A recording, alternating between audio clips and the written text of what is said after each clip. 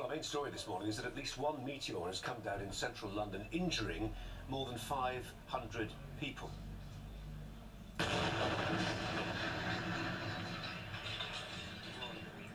forgive me, I think I just said that probably scared lots of people when I say central London, central Russia. That was the moment it hit in the Chelyabinsk region to the east of Moscow, some 900 miles away from Moscow.